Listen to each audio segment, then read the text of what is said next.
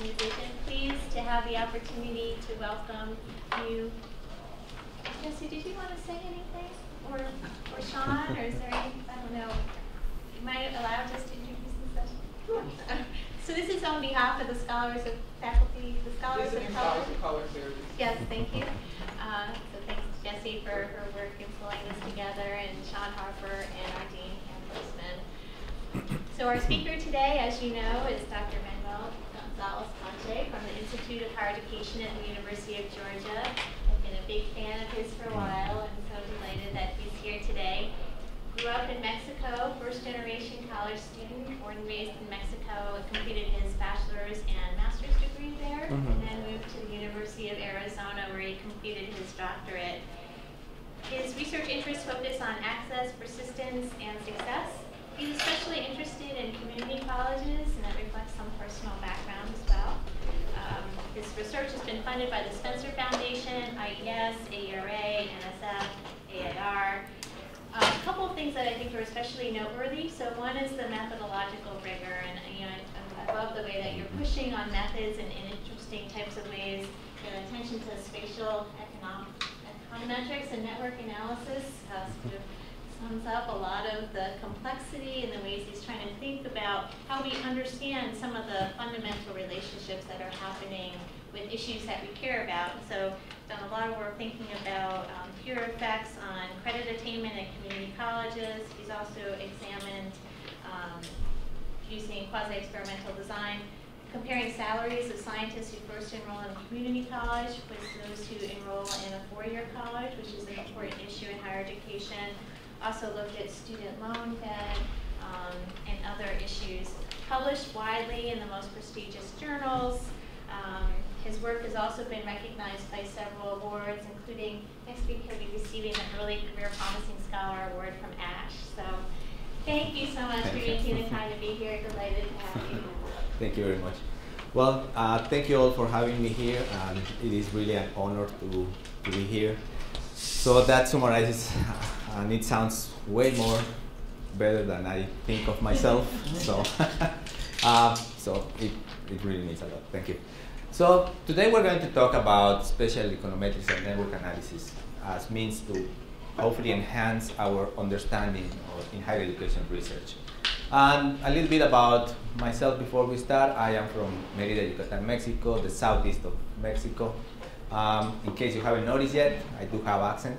So, so please, if you have questions or whatnot related to my accent, I'm not going to be offended. On the contrary, I'll be happy to, to work on that and to, to help us uh, we reach. have gringo accents. Good. So this is are just a little bit of a, some pictures that depict uh, my home, my home state in, back in the Yucatan.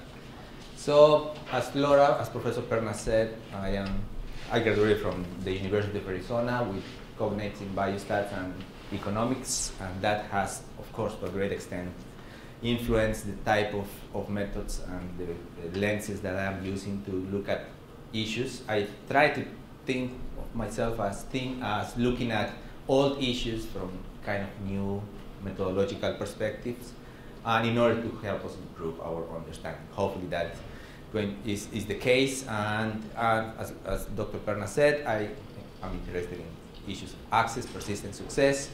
Uh, in terms of the, the methods that I use, I rely on experimental techniques, especially econometrics, network analysis, geographical information systems.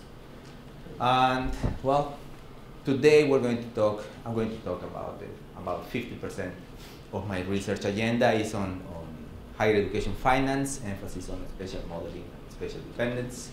And the other 50% is on issues of access, especially related institutional effects for, of the community college sector, loan debt, and graduation, employment outcomes, so on and so forth. So today we're going to talk about the spatial issues. Spatial issues. Okay? See? Okay. Um, a little bit of the motivation behind why to focus on spatial dependence. I'm switch sides. So basically, we know from a long time ago that everything is related to everything else. Uh, but we also know that near things tend to be related more than distant things. So that is what is known as the first law of geography.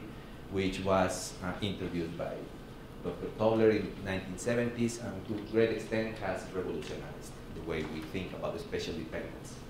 Um, notably, I think that spe uh, spatial independence is the, the most commonly assumed aspect in quantitative methods. And we, even though our methods are based on the assumption of independence, we rarely, rarely measure that, whether that is an issue or not. So the approaches that I'm going to be talking about today are measured to begin with this spatial dependence, and if in case there is, there is a spatial dependence of the outcomes, then we should proceed, proceed to modeling.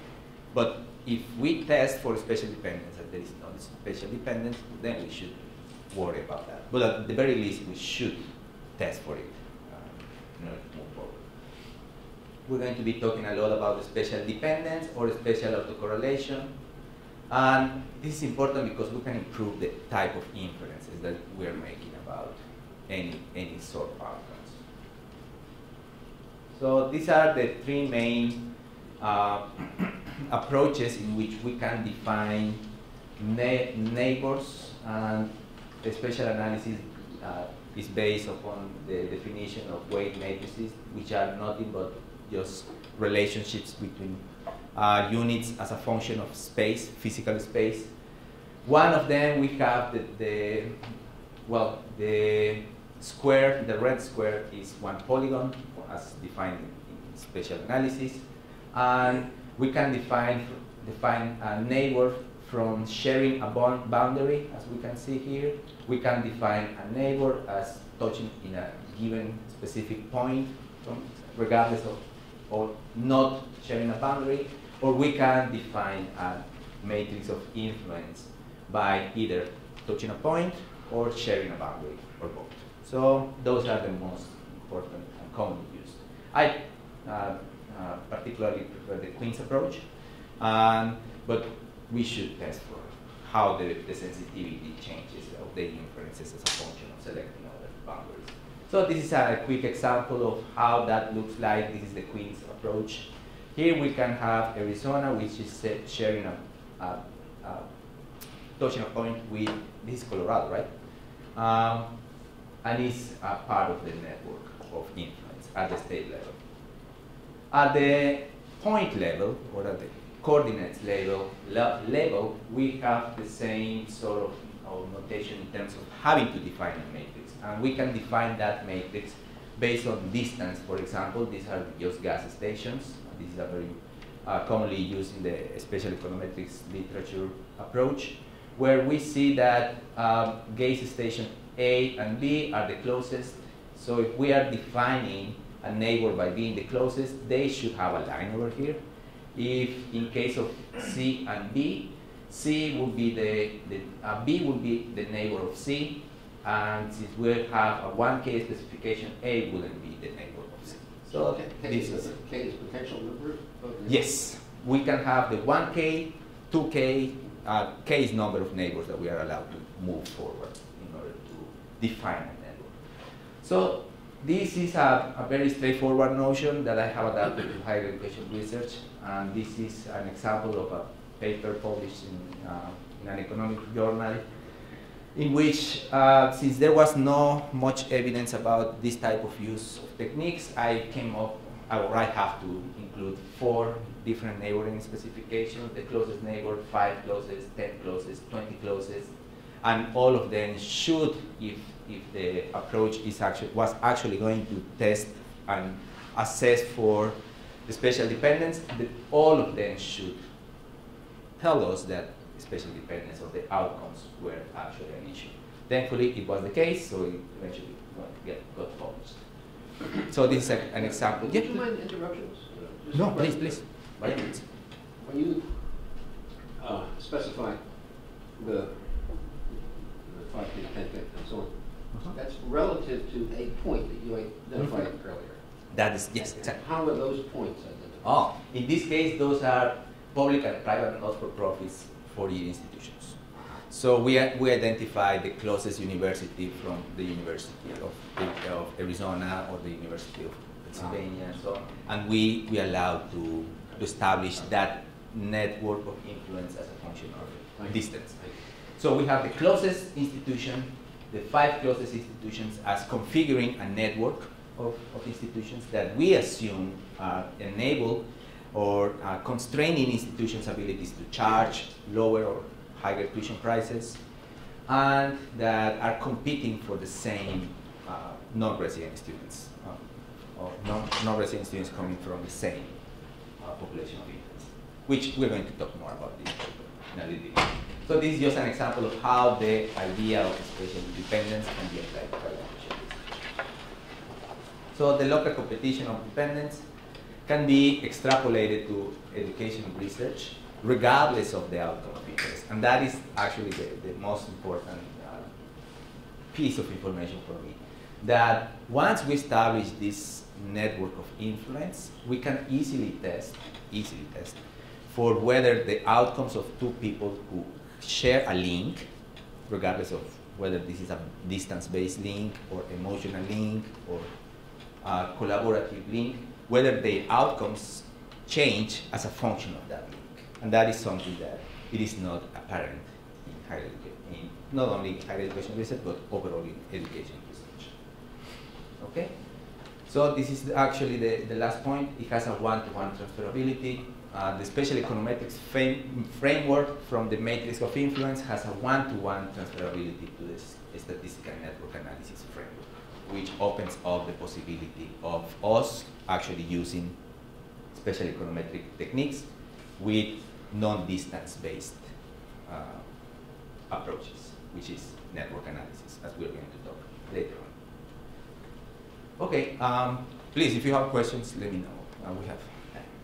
So basically, this is how the network analysis framework, uh, in terms of our relational thinking, can be extrapolated to the, to this, spatial econometrics framework and vice versa. This is what is the common denominator across the two approaches. We're talking about network analysis and spatial econometrics being completely different things, yet they, they share this information. They share a matrix of influence. And from that matrix of influence, we can just test whether two outcomes or a given outcome are spatially independent or are not independent.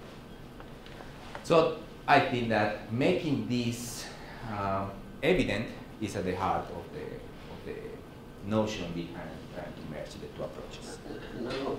Yep. The directionality work of the arrows Mm-hmm. uh, has a correspondence in the matrix Mhm. itself. But what does the directionality represent in reality? Ah, it's very important. From the network analysis perspective, for example, we can ask a, a, a given person, who do you ask advice? And that person can say, uh, individual A. And then we can go to individual A and ask him, who do you ask advice to? And if that individual A mentioned the other individual, there is a reciprocity, reciprocity, reciprocity right. in the connection. So in this case, the connection goes goes away. But it may be the case that, like in this example, the individual I asked for actor A, but actor A didn't mention uh, individual I. So the influence has a clear directionality that can be modeled from the network analysis perspective. In other cases, the directionality doesn't matter, and as long as there is a connection, we can establish some sort of dependence. But that is more mostly related to, decisions, and methodological decisions that need to be made and need to be described in papers in, in terms of establishing those networks, those matrices and networks of. Okay?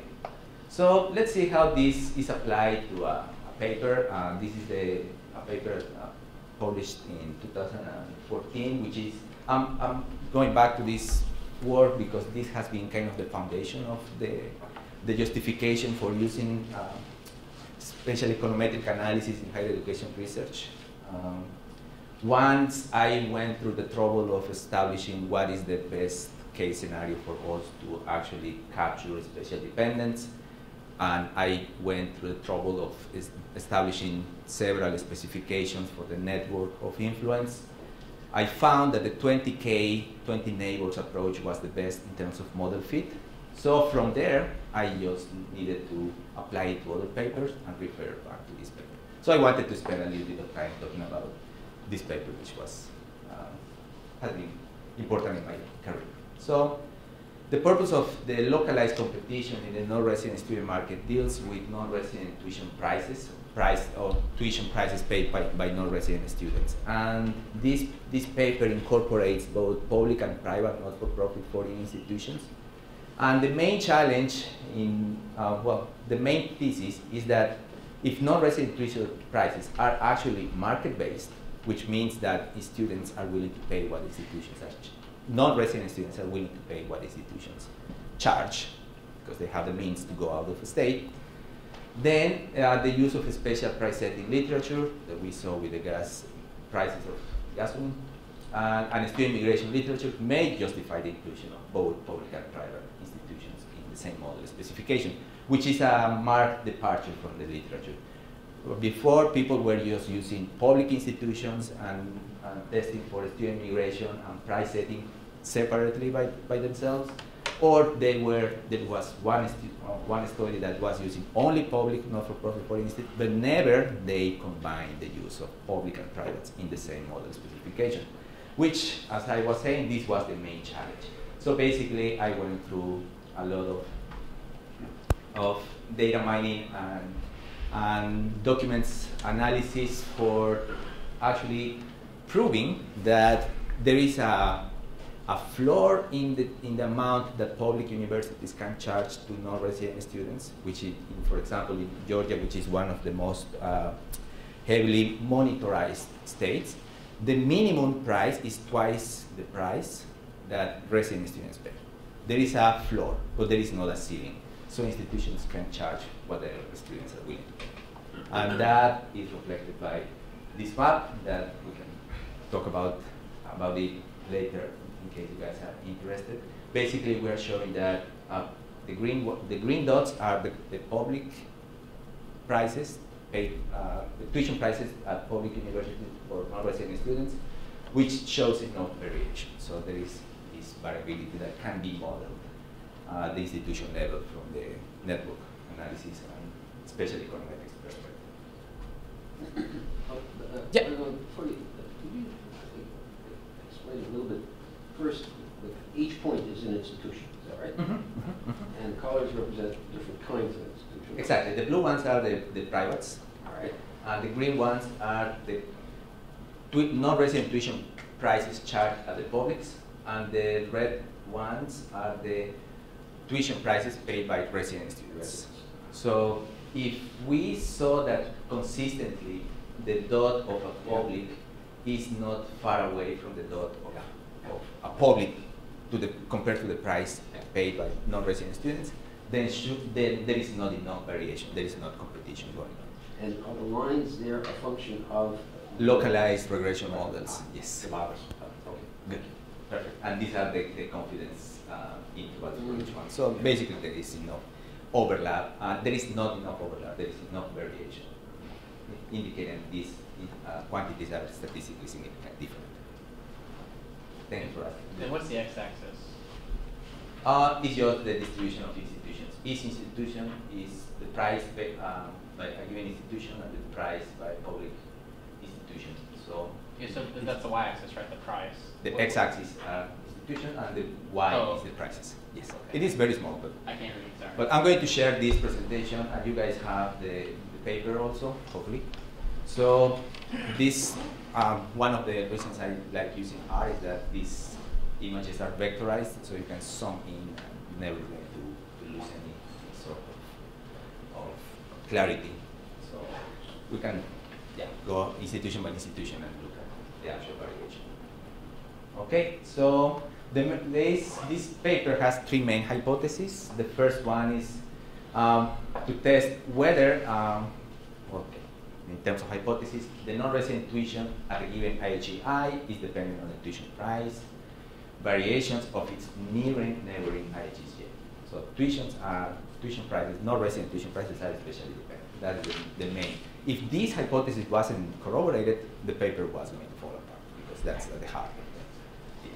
Uh, thankfully, it was corroborated, and then this is just uh, one technique that is called Moran's I that we are going to talk a little bit about later and the regression-based approach, if spatial dependence is actually happening, whether uh, we can model that spatial dependence using spatial econometric techniques. So basically, in this case, the higher the proportion of out-of-state students enrolled at the K nearest institutions is going to have a negative effect on the tuition prices, tuition prices charged by a given institution. So basically, if we are competing for the same pool of students, to the extent that my neighbor is attracting non-resident students, my tuition prices are going to go down.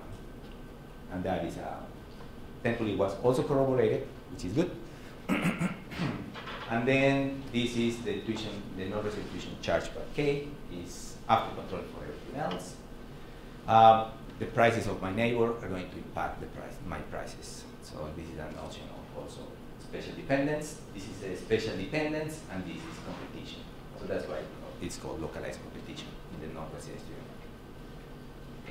So, so this is, I'm not going to go into much detail about the Moran's I. It is basically, uh, here we have the institution of interest, I, and then uh, here we have the neighbors that, of that institutions, J.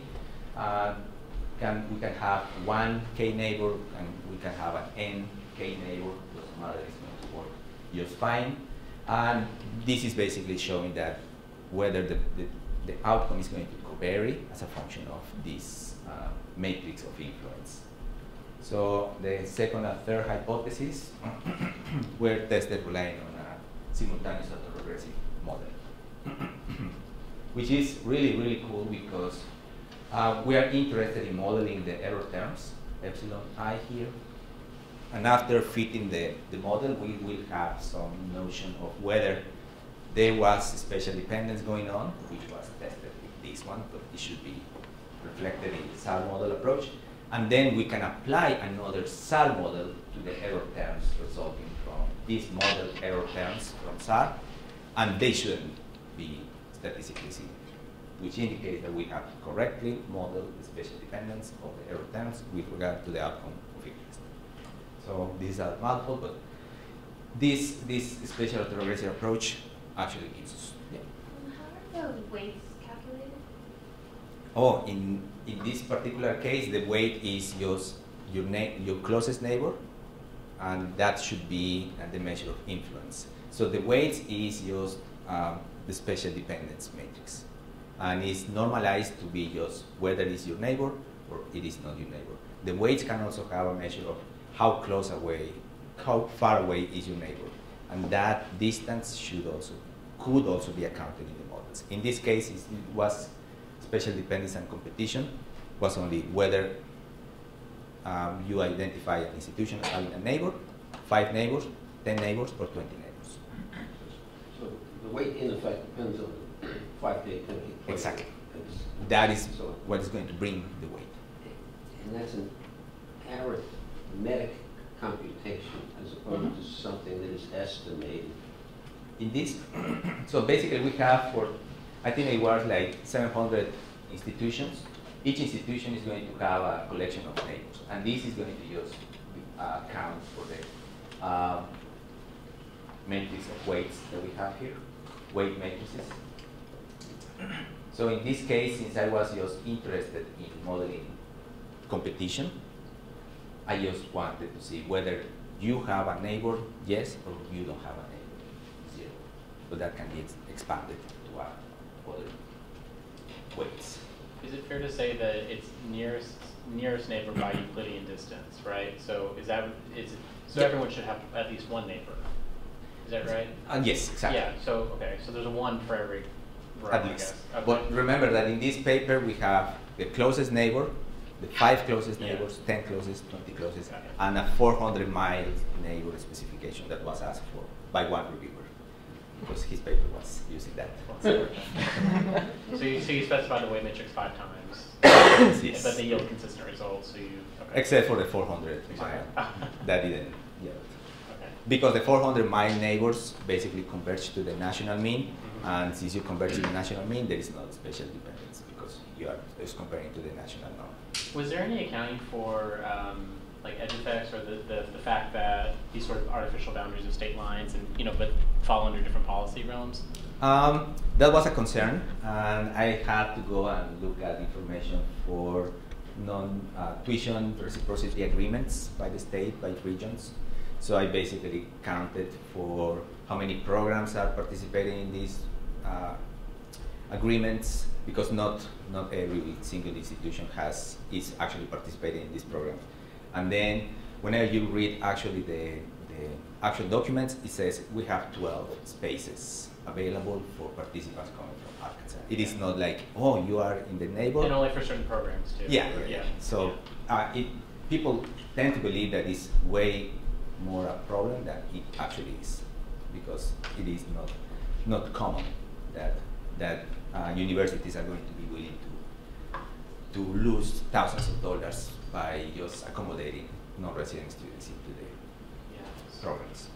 So yeah, that's to the extent that this model this model went in order to accommodate for. that. So is it just a categorical, or, or it was binary inter-reciprocity agreement or not, or? Um, it had a number of, of programs, it had the number of institutions, it created um, also an average by surrounding institutions, going back to the map in terms of neighbors, how many programs are on average.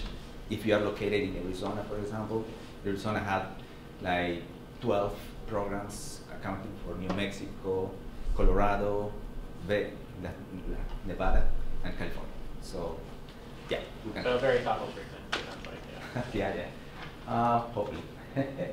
so, yeah, those are the list of variables. Sorry, where am I? So let's see. Um, I should have. So this proportion doctoral, one of these variables. I'm not going to go into much detail about it, but uh, let's see. yeah, these variables are accounted neighbors, average neighbor for programs in the tuition reciprocity agreements that are participating at a given state. This counts the number of programs. So this is institutions who are in this region, this other compact, one, so on and so forth. So it is incorporated in the results didn't change at all. So, but yet I had to include it for you asking for. Uh, I must say, I, uh, I'm bored, bored. Uh, impressed by the fact that you capitalized on, what, a dozen or more data systems that are actually pretty complex by themselves. Mhm. At the bottom, to get this stuff in a form that you can use. Mm-hmm. It sounds like it. It, it requires a lot of data mining, and uh, hopefully all the information is available. So, um, Plus, plus linkages among the files.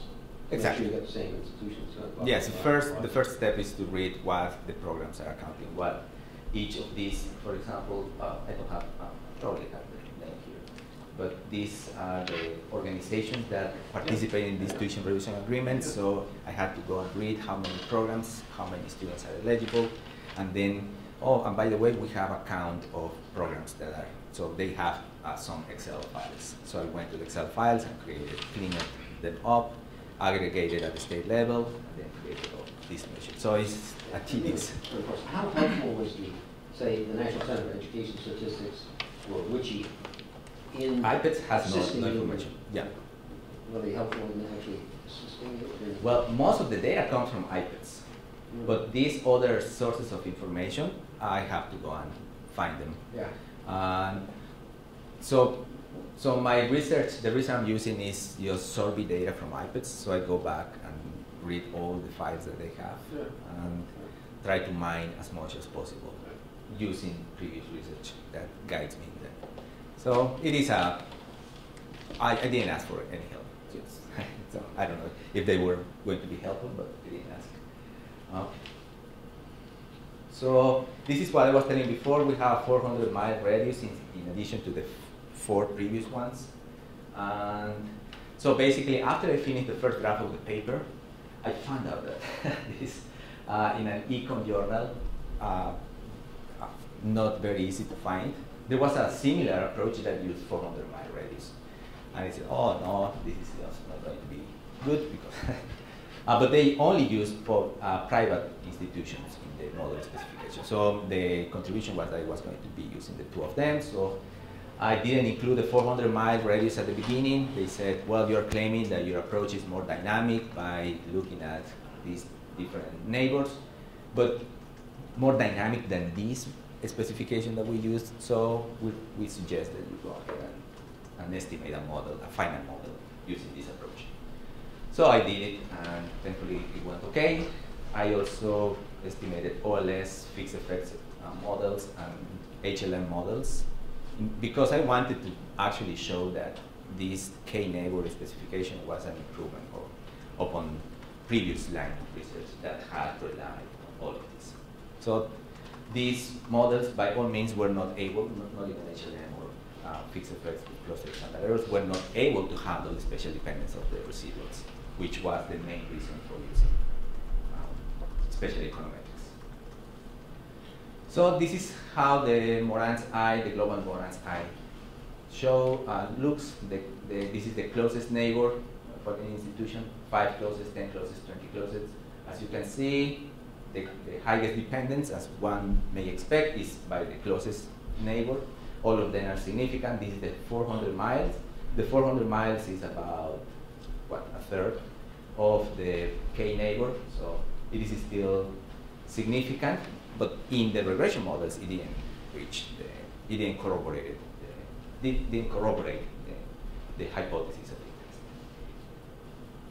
So this is the final table. Here we are testing for, I'm testing for the hypothesis. So here we have lag for percentage of non-resident students enrolling at the nearest institutions. It is the, you cannot see it here, but it's negative significant indicated that for any any increase in the percentage of percent of non-resident students enrolling at my neighbor, I'm going to be using this intuition. And this is, well, for uh, in, this is for every dollar increased by my neighbor, I'm increasing by 77 cents. So the two hypotheses were corroborated. So here we have one, five, in, uh, incorporated institutional predictors, incorporating uh, state level predictors and so on. The results held, held, held true, thankfully. So that was enough to warrant publication. So those are the all the models that were fitted in this thing. So these are the, and so basically, yeah, thankfully. And then uh, the reviewers said that they wanted to see some measure of heterogeneity of the neighbors. So basically, I had to incorporate, I don't have this table here, but I, I had to incorporate a proportion of institutions that uh, configure my network that are open access and the proportion of institutions that configure my network that are highly research-oriented institutions. That should have heterogeneous uh, effects on the variation. So the main hypotheses um, were uh, corroborated with the inclusion of the heterogeneous structure, and the heterogeneous structure also rendered interesting we can talk about them during lunch. I hesitate to ask yet another trivial question, but does anybody believe the third or fourth decimal place in those tables? For which one? Well, you got one there that's the Oh, fourth yeah. decimal place, and then you get another. Uh, Does anybody believe the third decimal place in any of these For tables? this one? This kind of data? um, well, in, in this, in particular for this case, Yeah. so for example, it is for any a dollar increase by my neighbors, I'm going to increase 99 cents. So that's the meaning of that coefficient. So it is I'm- just curious. almost one to one. Facetious question. Right? Yeah.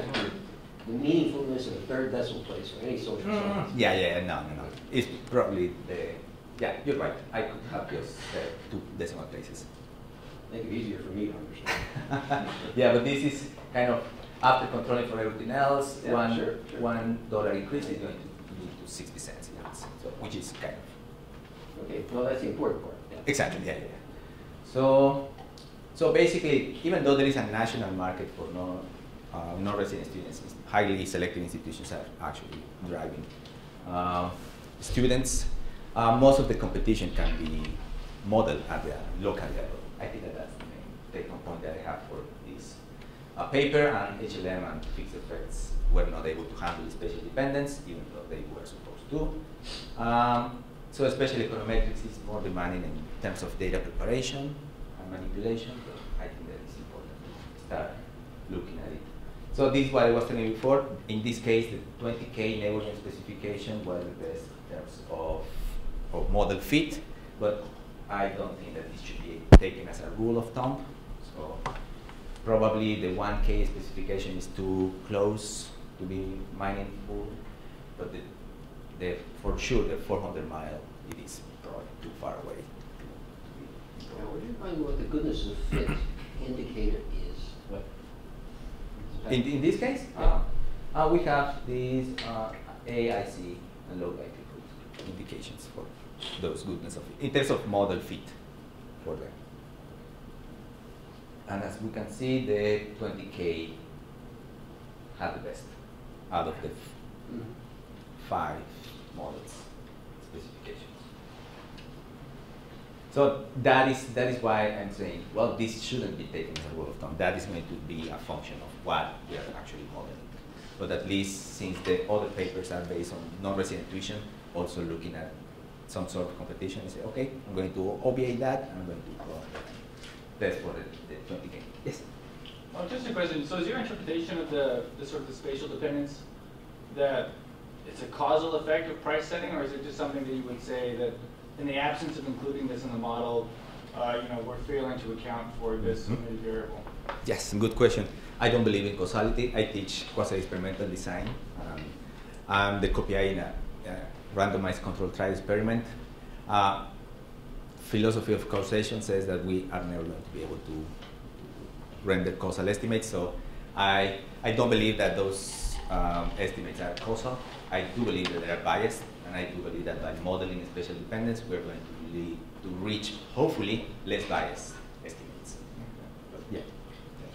And I do believe that in the absence of that model, th- that modeling approach, uh, our estimates will be upward or downwardly biased. Yeah, there's another kind of language problem here in the sense that that word, uh, dependence, seems to invite one to think about Mhm. causal inference, when in fact it doesn't. Yeah, yeah, yeah. cases. Never, yes. Uh, in the paper, it's never mentioned Yeah. causal, causal Yeah, sure. Okay, um, how are we doing in time? Do you have time? What is the time? Twelve forty. Wow. Okay, good. Okay, so let's, uh, in this paper, I'm going just to summarize the main take-home point. Basically, whenever we talk about non-resident students, um, we tend, I think, tend to think of them as a homogeneous group. So this paper uh, builds upon the premise that students are coming from states of different levels of wealth, and that we can potentially model that heterogeneity in terms of their, wealth. So this paper tries to capture that, tries to provide a, a method to capture for this heterogeneous structure in terms of wealth, and then tries to see whether this heterogeneity leads to differences in the magnitude of the estimates as compared uh, using the homogeneous structure, using the heterogeneous structure of the non-resident. And the second point is that yes, uh, the homogeneous structure tends to be downwardly biased. The heterogeneous structure that captures this wealth of this is the distribution of wealth that captures this uh, heterogeneity is actually hopefully yielding better, uh, more accurate descriptions of the magnitude of interest in terms of attracting uh, non-resident students. So the implications for this study are that probably public institutions who need the money the most, I- guess, um, should benefit from being more strategic about where they should recruit um, students in terms, at least accounting, for uh, the wealth of the state. I know that this is controversial, but I don't think since there is one important um, notion to be noted. Public foreign uh, institutions, public foreign institutions do not have the, the ceiling in, in terms of how much they can charge, but they do have ceilings most of the time in terms of the proportion of non-resident students that they can admit. So by being strategic, I don't think that there, there is going to be a uh, an increase in the stratification of opportunities for acts, college access uh, the, in the public sector. Is that clear? Okay. So another paper that, well, it's coming in 2017. Thank you very much. Um, uh, incorporates the notions of network analysis and spatial dependence. Basically, in this case, in this paper, I claim that even though the nine sectors configuring the post-secondary education system in, in, this country are attracting non-resident students, we tend to just limit our inferences to the public four-year sector or the private not-for-profit four-year sector. This paper in, incorporates all of the sectors and tries to use and relies on, see, yeah, completely relies on network theory and methods to actually create these measures of centrality or influence in the network to attract non-resident students or to send non-resident students to other places. So this, this um, paper used 4,321 institutions that were uh, receiving students, accounting for about 600,000 students across the contiguous US. I didn't include Alaska or Puerto Rico or other places because I wanted to, again, test for spatial dependence within our boundaries within the contiguous so the, the methodological framework is that one state supplies X number of students to a given institution that is located in a different state. And if we say we have the state supplier, institution receiver, we can create this matrix of influence. We can get an um, indication of what states are the most influential in terms of exchanging students with other more influential states. And that is what is known as eigenvector centrality. Eigenvector centrality is the are you familiar with the PageRank by Google? Like how they, uh, whenever you are typing a search in Google, it gives you the best guess for your search. So that best guess is using eigenvector centrality in terms of, of computing a lot of, of stuff in the background to give us that, that result. And believe it or not, the Google identifies very important bloggers in using Google, and they have a they give a, a, higher weight for whatever those bloggers are, are looking for in the internet. So that that is accounted for in the, computation of that measure of centrality. So let's see. Here we have, yeah, here we have the two research questions. So basically, network principles can enable us to identify key senders and key receivers of non-resident students. And we know that state's capacity is limited in terms of accommodating non-resident students. So the first question is whether being a, whether sending students out of state is actually going to enable you to attracting more students from out of state. And this was the case. This, this measure was corroborated. And then whether being located in a given state that is highly attracting students from out of state has differential impact in terms of the tuition prices charged by different sectors within the state. So uh, in this particular case, the, the main take-home point that I, I had is that competing against the most important attractor of non-resident students, which is the public for-profit, not-for-profit sector, is actually negatively affecting the tuition prices charged by public uh, four-year institutions because they are competing against the most important player. But uh, community, uh, community colleges located in states that are actually highly attracting these non-resident students actually observe an increase in the prices that non-resident students paid at those community colleges. So this makes sense whenever we look at so this is the representation of the mobility. So um, another important point, uh, side note, is that the, the, mobility that is taking place in the two-year sector, non-resident uh, community college students moving out of state, is the lowest in, in terms of enrolling in neighboring states. Whenever community colleges move out of state, they actually move at least one state above. above.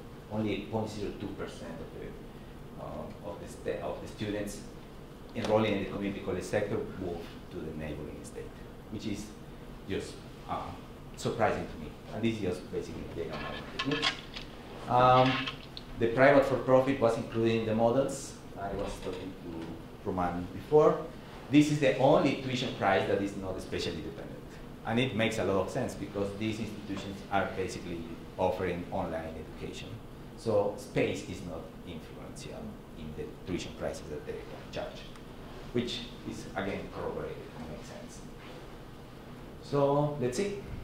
Um, I was talking about the community college sector and being uh, positively affected by being located in a state that is attracting a lot of non-resident students.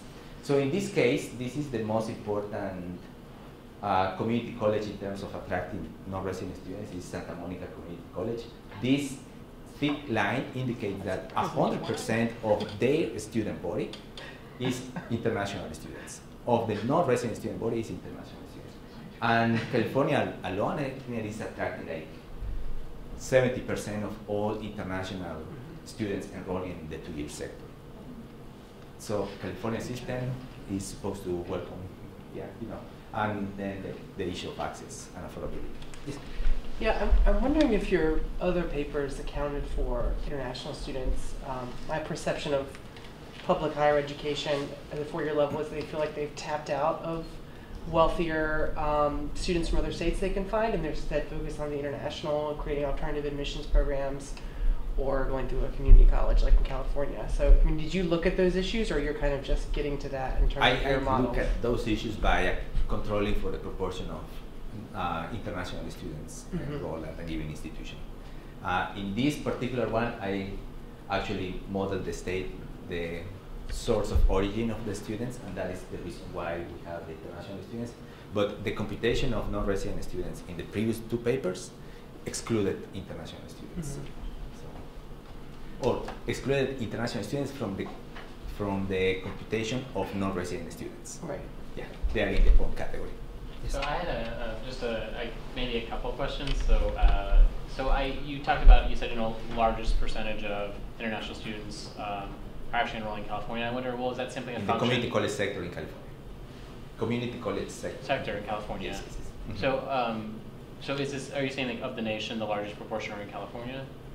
Or, are no, uh, international students going to the two-year sector Yeah, are in it- California. in California. Yes. So, uh, so maybe if I were understanding correctly, I wonder if that's a function just because they have an extensive, expansive community college sector. Like, is that a function just because they have many more community colleges than you know? You add ten states in the South, California still has more. So the whole So, notion, you know what I mean? yeah, the whole notion of, of having this system in California is uh, so that everybody can go to the community college sector and then transfer to the four-year sector, Yeah. right? Um, if they are highly attracting international students into the two-year sector, uh, I think that after two years they are eligible to transfer to the four-year sector as any other California resident which is taking the seats of California residents going. I see. So it's Taking more, that it's more about a pipeline issue for California residents that you Yeah. raise it. Okay, that's fair. And I had one other question about because I, I was kind of reviewing the paper a little bit, and you said one of the primary uh, receivers was University of Phoenix, right, for for non-resident students, and we can assume that that's probably not.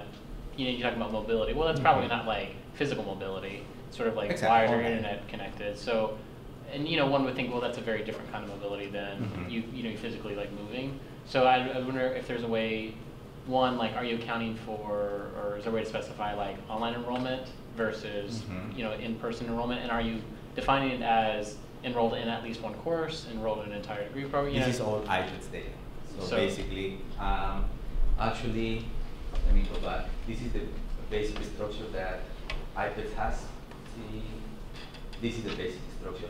You have institution one that is located in Alabama, and you have the count of number of students coming from Alabama, which is just the definition of. Oh, so it's just number from other states Mhm. by state. That's, okay. that's the best that we can do with- Yeah. with the data. Yeah. And here you have the same institution getting 90 students from Texas, 160 from Florida, Yeah. and from there we can create it. There is a really important um, report that came out this summer from WICHE, their tech group. I forgot what's, but it's associated with WICHE.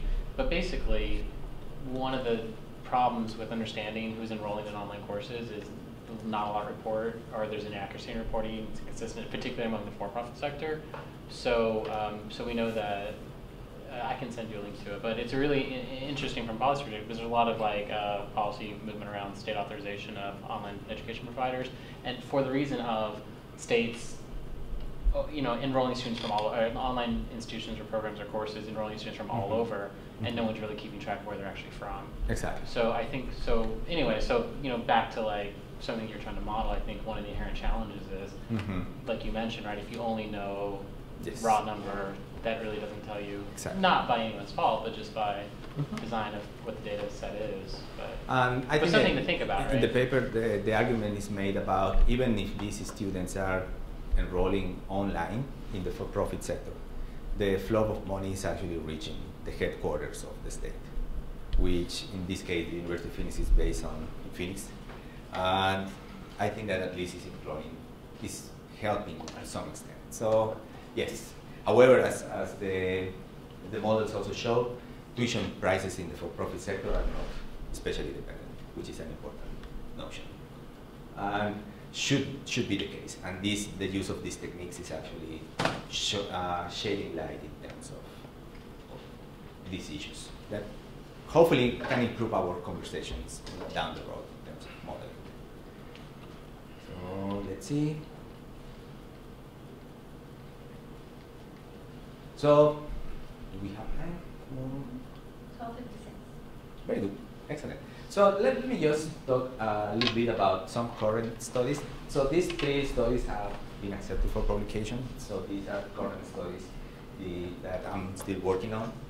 This is a notion of neural college enrollment. This is the uh, I, I, said at the beginning that my two, 50% of my research is on quasi-experimental design, and 50% is on spatial modeling and network analysis.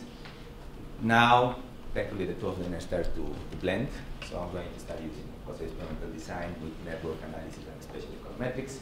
This is one of the, the examples that I'm working on.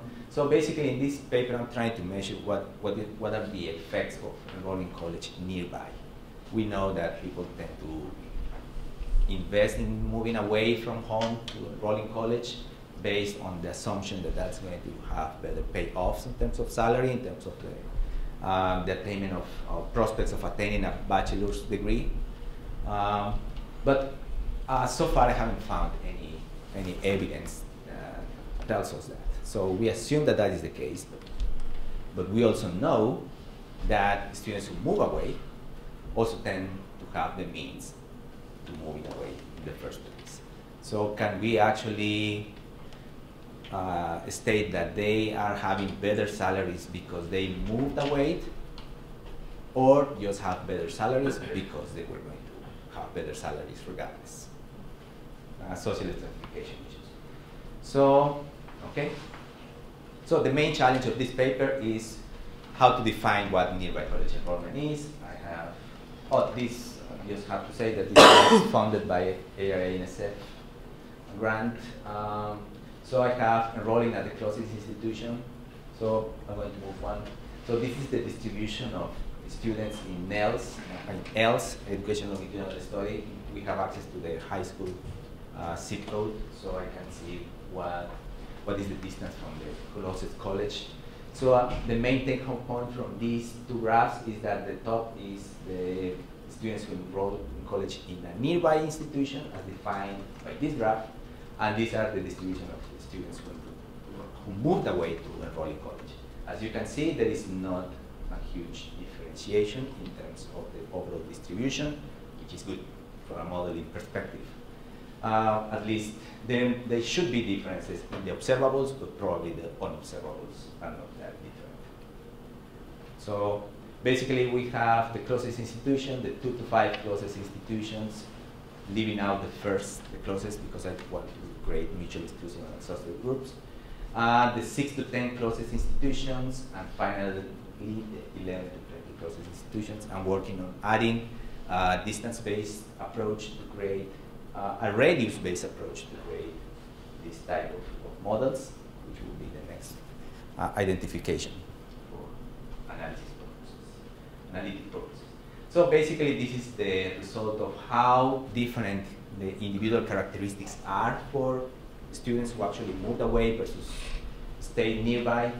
Uh, this graph is explaining zero to one uh, propensity towards moving away. We have enough overlap in the two groups, which is great in terms of modeling for that.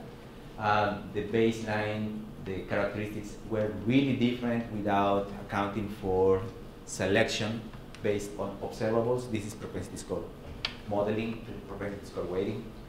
Um, so basically, the estimations that I'm, I'm looking at have accounted for differences in the student bodies in terms of resources. And I can say then that any differences in the outcomes can be, can be a function of having moved away as opposed to, at least I'm going to be a little bit more confident. No causal estimations, uh, at least less biased estimations. So preliminary results, students who enroll in the five closest institutions were less likely to obtain a bachelor's degree, uh, had lower salary, and a positive thing, had lower debt. Uh, these differences disappear when students enroll in the 6 to 20 closest options.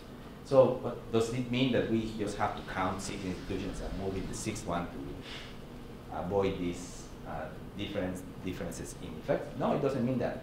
It means that students who are choosing among, opening their, their selection above five closest institutions, by just probabilistically speaking, are less likely to undermatch, right? So they are more likely to actually go to an institution that, are, that is uh, what they expect to, to obtain out of college. The best outcomes, by all means, were found. So this modeling approach allowed me to identify students who out-migrated in a different state and who moved away from the 20 closest neighbors but remained in the state.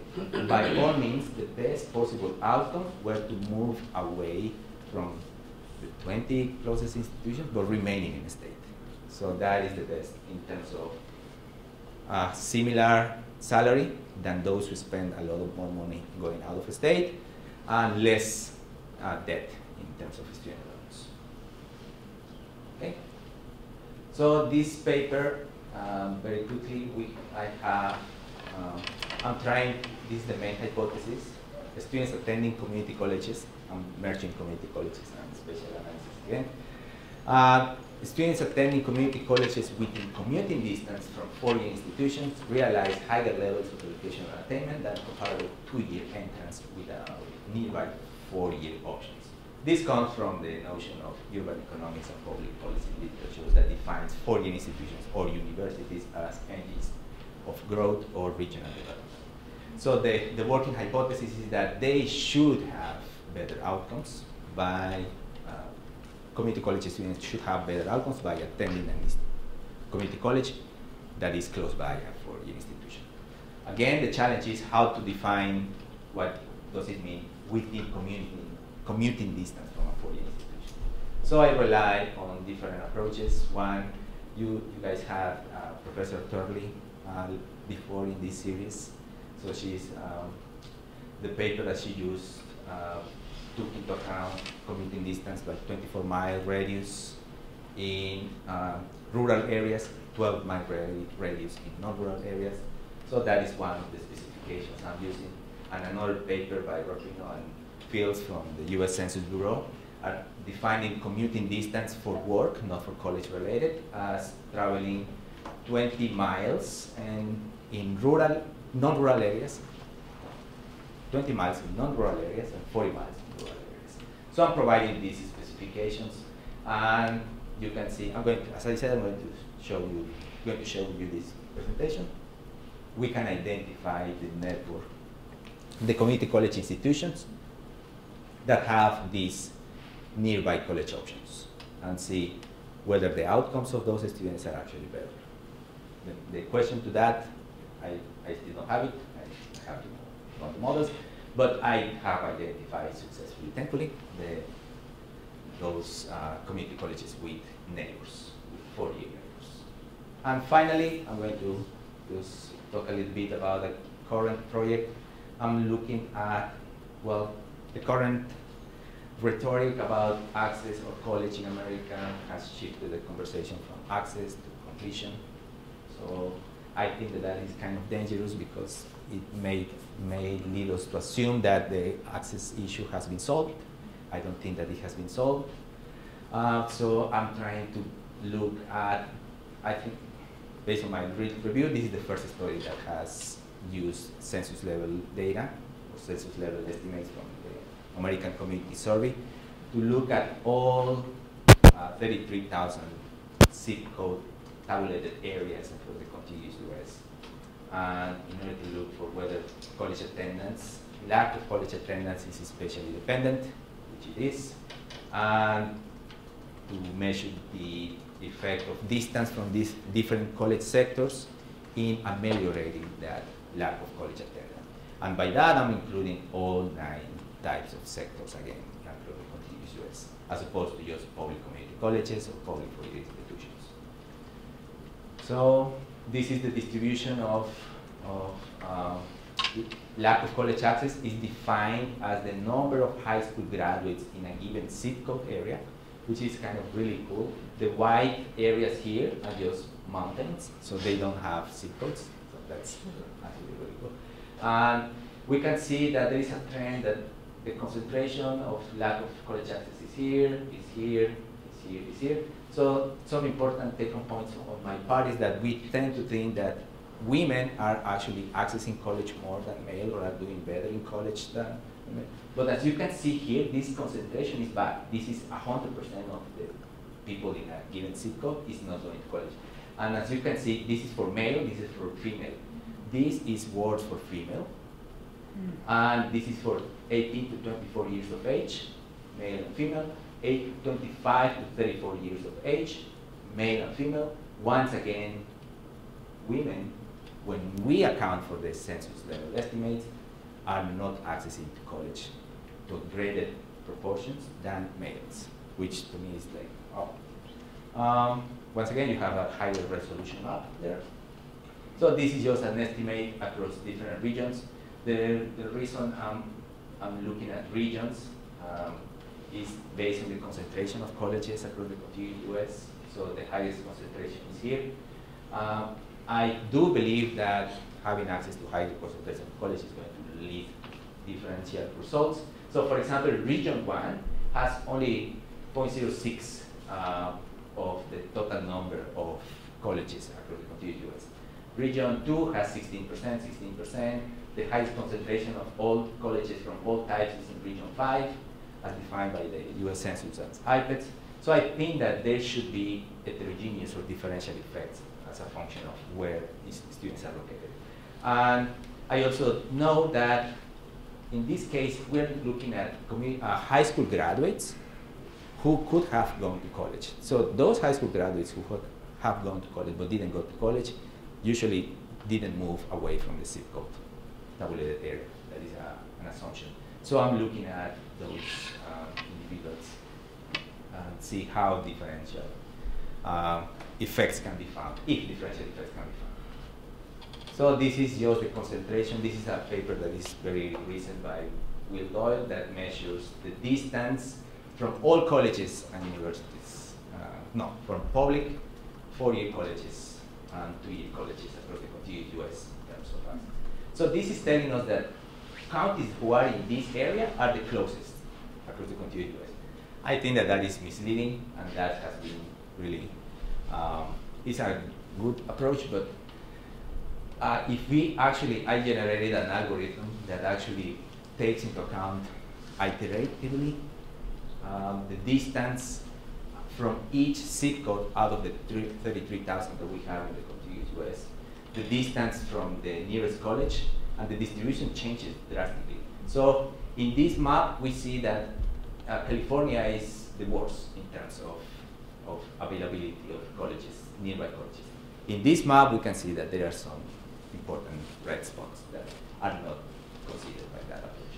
And we can model that, uh, we can apply that algorithm to uh, all the forms of community, uh, of sectors across the US to get differential maps and see how distances from this, this is for public foreign institutions, this is for, public to institutions, how those distances are affecting access to college across the US. I plan to add, of course, more predictors, crime, poverty, employment, and so on, and see how, whether or not those distances actually have differential impact. So that's the main body of research. I do have one more thing that, do you have time or no? One ten, yeah. Yeah, we have.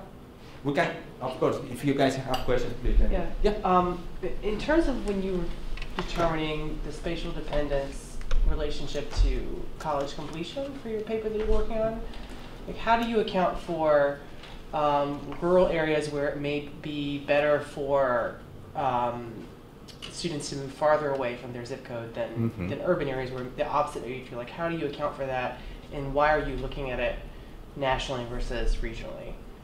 Oh, I'm actually looking at it regionally. Okay, As opposed okay. to nationally. Yes, Okay. and that is actually the, the, the, thank you for asking.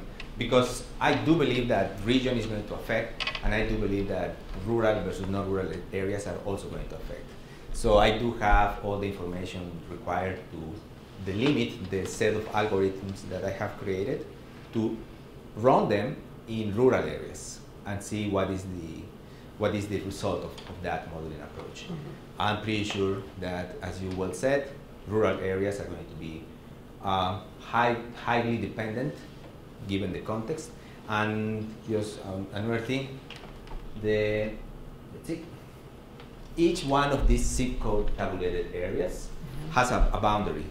Uh, I, I started the conversation today talking about boundaries to the extent that uh, one each zip code is sharing a boundary or touching a point with another zip code.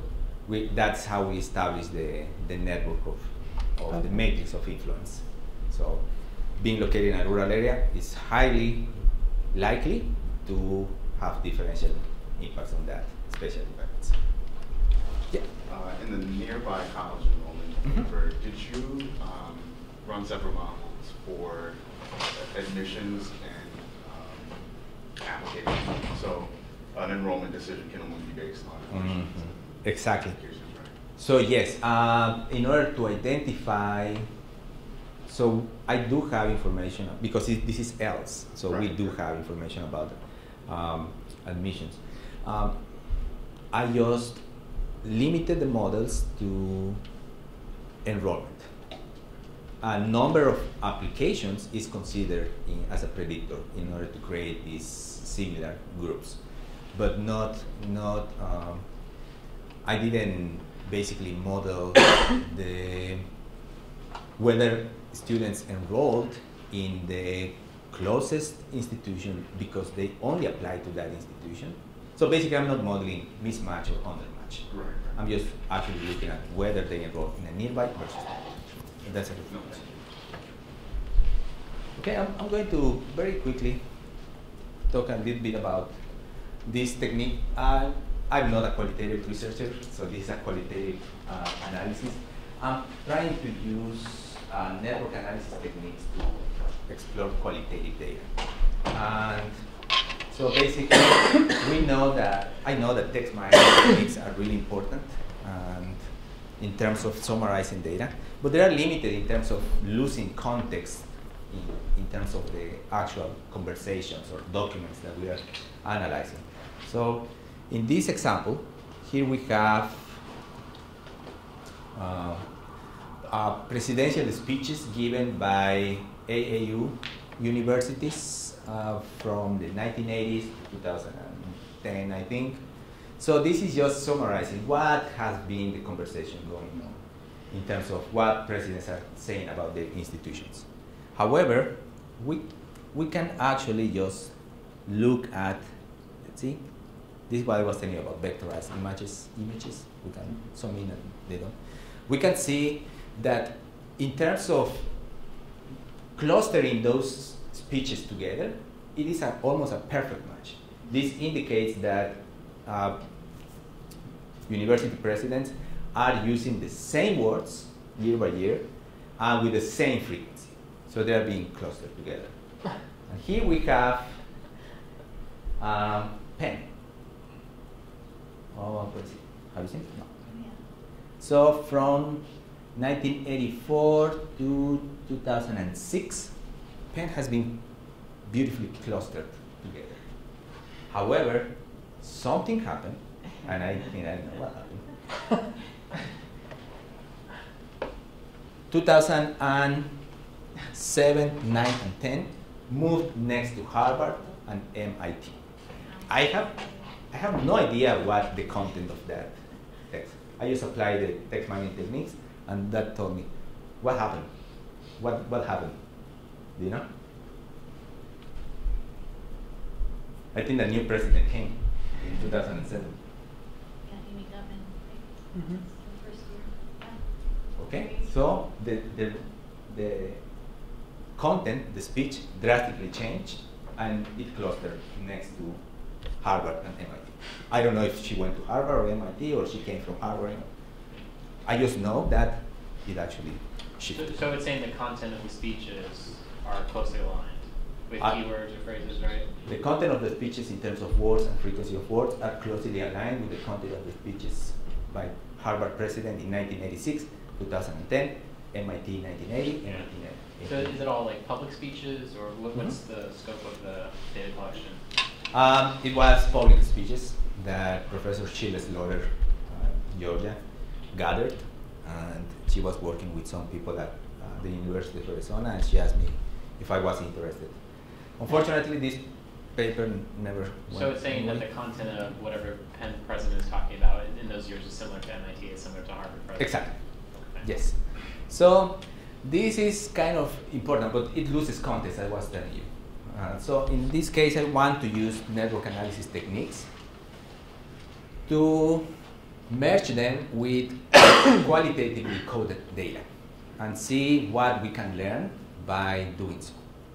So we can use the mathematical properties that come from network analysis to um, qualitative, qualitatively coded text. Text. So let me see. In the interest of time.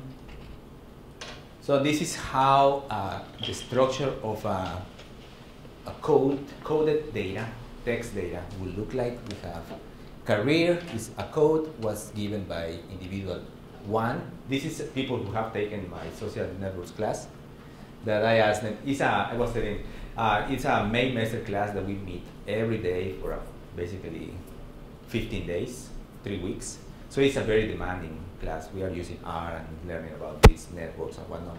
So I, I asked the, the students, why, why are you here? What, why are you taking this class? And these are, I coded the data. I'm not a qualitative researcher, but I coded the data using freeware, R for qualitative data analysis.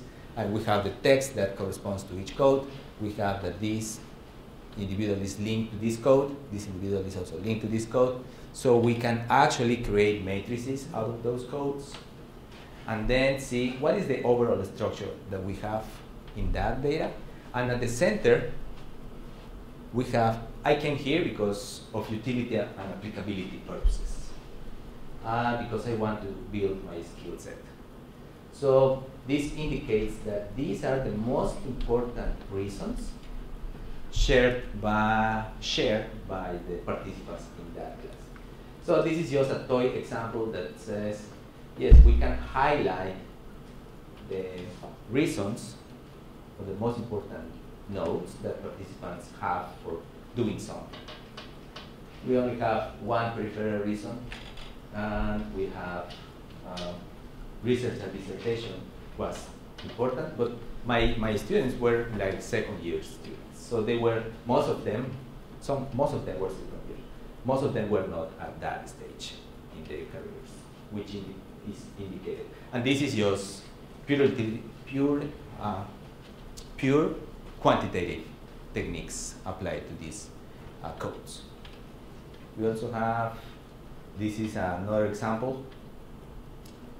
Uh, in this case, each code, you can also see the content of each code in terms of text, uh, in case you want to have a good glance of what each code means. And of course, the code can have a positive meaning or negative meaning. You should account it for, should be accounted for.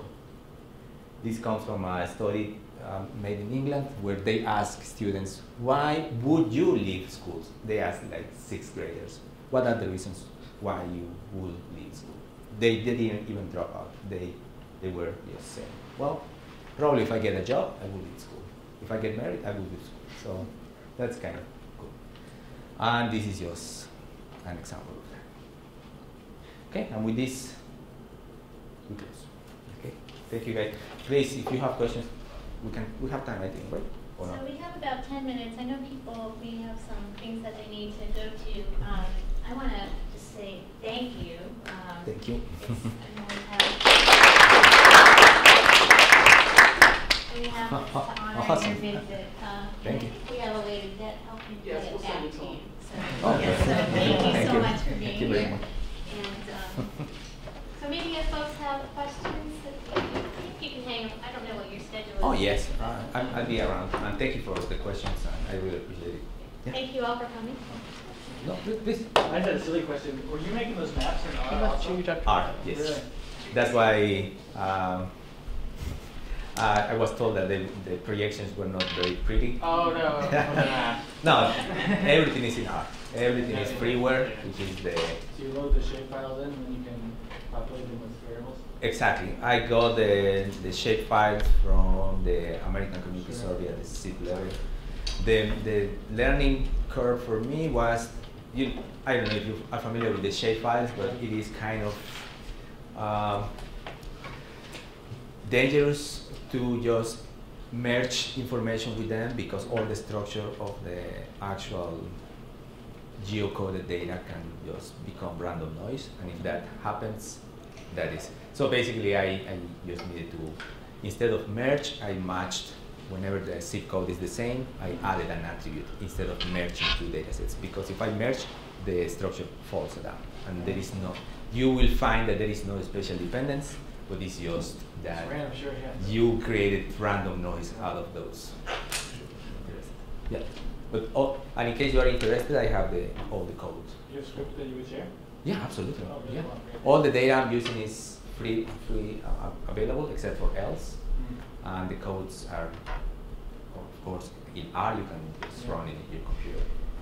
Be happy to share them. I have tons of them because anyway, I have created way more information than I should. Yeah. Yes. I want to say um, thank you for presenting. I, you know, very insightful, very, you know, exciting work, and I think we're watching. This is just my humble opinion. I mean, I think we're watching the field of higher education research being pushed in this room. you. Um, th- uh, I had just a couple comments. Uh, one, um, just because the only reason I, kn- I had to look this up this summer for, for the internship I was doing, but um, I think it is. I think it is reported in IPEDS the um, number of like enrolled in online or at least one course or a full program. So I'm wondering if like if putting a weight in there or accounting for that, like could maybe you know it, you'd have to assume like that share of students you know at the institution is the same proportion or whatever. But um, and the other question that I had is I think in one of your papers, uh, if I'm misunderstanding the one uh, states, you're looking at like the 49 contiguous states with, with Mhm. DC, I think. Mhm. Um, and I, I noticed, you know, I think that was your that was your N, that you know N49, but you know you're also dealing with lots of uh, predictors, and so what is that? I guess handling, you know, does it violate, you know, the small sample size or or Oh yeah, yeah, yeah. Um, let's see. In terms of the degrees of freedom, yeah, and then sort of Mhm. I guess the power and the yeah, that's a, al- always a concern. Um, the easy solution for that is to replicate the model and look at it over time, so that you can actually have a spatial temporal models. But it was, in all honesty, complicated enough to Yeah. just do it at one time. I just added one temporal component by looking at the outcome the next year, a forward outcome, so that I'm assuming that whatever institutions are experiencing this year is going to affect the variation of tuition prices next year. Um, but yes, uh, the sample size, if you are looking at the state level, uh, are a constraint. If you look at the county level, the constraint um, is reduced. And if you look at the zip code tabulated area, you have 33,000 zip codes uh, across the contiguous US, so that vanish, vanishes. So now the, the, the, the question then becomes, are my results practically significant because statistically significant with 33,000 observations, pretty much you're always going to find. But in terms of the practical significance, that's another important conversation to have in terms of is a 9, uh, 0.09 Moran's I actually uh, does it warrants modeling and all of these um, extra steps that we have to, to do to actually account for spatial dependence is warranted by a Moran's I of 0.09. I think so, but other people can say Moran's I of 0.09 is not a big deal. Yeah, and So- of course, I took, I've learned a little bit about um, ridge and Lasso regression. Are you familiar with, basically when you have small sample size and many more predictors, that's one way to account for it, but. Goodness. No. It's a- Thank you very much. Chris. Sorry to interrupt. No problem. Um, I just, you know, I, I know it's not a spatial model, but like, I think there are, I don't Which one, know, which uh, ridge, ridge regression. Oh, Rich, yeah, yeah, yeah. Or yeah. Lasso regression, sometimes, you know, I, I wonder if like. That is is more for um, we have- high dimensional data analysis. Or, uh, well, I'm sort of taught, like, if you have many more predictors, then, you know, Mhm. you know, that's one way. So I wonder, like, as a baseline model, that could be the baseline, or one of the OLS and then a ridge regression, and then to see, like, what it looks like. But, but anyways, I mean, I, I it was, uh, No, thank, I- you, thank you for presenting it. No, and, and your point about the online and share of online students attending a given institution, that's something that is not accounted in the model. I'm not, I'm not claiming that my list of predictors are the gold standard. You see, you see what I mean? Yeah. I'm saying people have very different ideas. Hopefully they can build upon that. They can come up with their own models using this. I didn't come up with network analysis of, or especially econometric. I'm just a user. of them. yeah. And I'm just trying to try to see if I can merge them to see what we can learn from. Of course, and, and you're right. You know, like you mentioned, like this all comes down. There are a million decisions you have to make, right? And Mhm. it's just you know, and one researcher's decisions may be slightly different than the other. But no, but I think uh, very valuable. So thank you for Oh, sharing. your thank you. Yeah. Thank you guys. And please, um, you have my contact, I guess. If not, just let me know. Um, and I send you the code Okay, thank you.